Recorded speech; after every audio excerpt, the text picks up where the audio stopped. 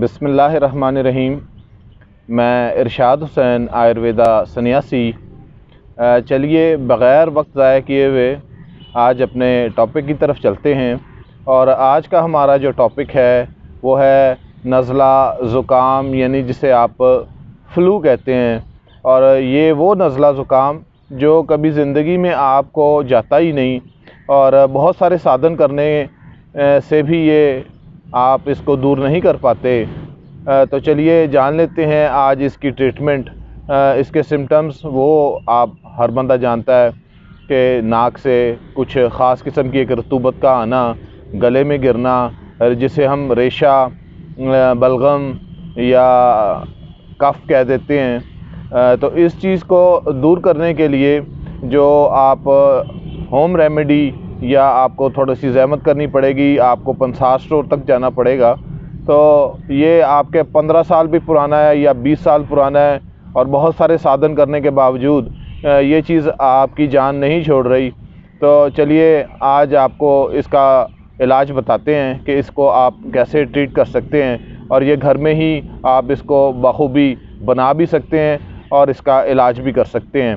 تو صرف تین چیزیں آپ نے لینی ہے اس میں، فلو میں۔ کہ ایک نمبر ایک پہ ہے سونف، آپ نے سونف لینی ہے اور یہ تینوں چیزیں جو میں آپ کو بتانے والا ہوں، یہ آپ نے ہم وزن لینی ہے۔ نمبر ایک پہ ہے سونف اور نمبر دو پہ ہے آپ کی ہریڑ، جسے ہرر بھی کہتے ہیں، ہڑ بھی کہتے ہیں۔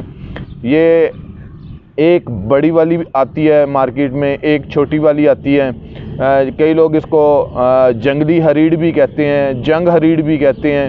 یہ چھوٹے سے کلر میں ہوتی ہے اور بلیک کلر میں ہوتی ہے۔ یعنی چھوٹا سائز ہوگا، اس کا عام ہریڑ سے تھوڑی سی یہ چھوٹی ہوتی ہے۔ یہ اس کی آپ کو ایسے ہی سمجھ آئے گی کہ ایک تو بڑی شیپ میں ملے گی، ایک چھوٹی میں ملے گی۔ یہ جب اپنے پیڑ پہ یعنی آپ کے جو درخت ہے، جو برکش ہے، جس پہ یہ لگتی ہیں تو یہ جب شروع سٹارٹ میں ہوتی ہے، جب پوری نہیں پک پاتی تو یہ وہ والی استھتی جو ہوتی ہے، اس سٹیج میں جب یہ تیار ہوتی ہے، تو اس کو ہم چھوٹی ہریڑ کہہ دیتے ہیں، جنگ ہریڑ بھی کہہ دیتے ہیں۔ تو آپ اس کو لے لیں اور ساتھ میں سونف لے لیں۔ اور جو تیسری چیز ہے، وہ ہے آپ کی شیٹا مشری جسے ہم پاکستان والے کوزا مصری بھی کہتے ہیں۔ یہ تین چیزیں آپ نے لینی ہیں۔ تو اس کا طریقہ کار بنانے کا وہ بھی سمجھا دیتا ہوں اور طریقہ استعمال بھی سمجھاؤں گا آپ کو کہ اس کا طریقہ استعمال کیا ہے۔ تو آپ نے جنگ ہریڑ لے کے تو اس کو کسی بھی توے کے اوپر ڈالیں اور ڈالنے کے بعد آپ تھوڑا سا دیسی گائے کا گھی وہ ڈال کے تو اس کو ہلکی ہلکی آنچ پہ بھونیں تو بھوننے بھوننے سے کیا ہوگا کہ یہ اسے ہم کہتے ہیں خل کرنا یعنی اس کو بھوننا، اس سے کیا ہوگا کہ اس کی جو خشکی ہے وہ دور ہو جاتی ہے۔ تو بھوننے کے بعد اس کو باہر نکال لیں اور برابر مقدار میں اس کے اندر سونف ڈال دیں اور سونف کے ساتھ برابر مقدار میں آپ نے اس کے اندر شیٹا مشری یعنی جسے ہم کوزا مصری کہتے ہیں، وہ ڈال کے تو کوٹ لیں، پیس لیں، چھان لیں اور کسی بھی ڈبیا میں ڈال کے اس کو محفوظ کر لیں۔ تو اس کا اب باری آتی ہے اس کا طریقہ استعمال کہ اس کو آپ نے، یہ تو ہو گیا نا کہ آپ نے بنا لی۔ تو اب اس کا طریقہ استعمال اور ٹائمنگ کیا ہے۔ ہمیشہ یاد رکھیے گا کہ کف فلو جو ہے وہ رات کے ٹائم بہت زیادہ ہوتا ہے یا الگ صبح یعنی جسے ہم ارلی ان دا مارننگ کہتے ہیں، اس میں بہت زیادہ آپ کو یہ ملے گا۔ طریقہ استعمال اس کا یہی ہے کہ آپ نے تین گرام یا دو گرام، دو دو گرام یا تین گرام، یہ اس کی مقدار خوراک ہے، یہ آپ نے اس کو بنانا ہے۔